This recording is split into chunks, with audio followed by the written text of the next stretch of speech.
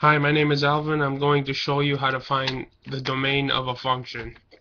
So we'll first start off with this example. f of x equals to x minus 1 and g of x equaling the square root of 4 minus x. Now we have to find the domain of f of g of x. So what we do is we got to find uh, g of x first. So that's easy you just plug in square root of 4 minus x. And the domain of g would be x being less than or equal to 4. This is because if you plug in anything more than 4 here, this whole number inside here would be negative, and you can't have a negative under the square root. So that's why you have this here.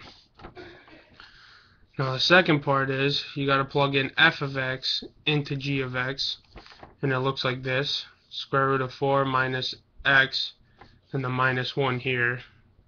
We got this from starting f of x function.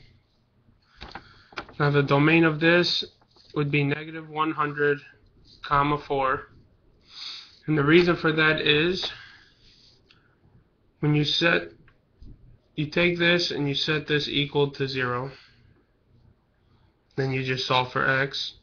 I added x to both sides because x was negative and then x would end up equaling positive 4 so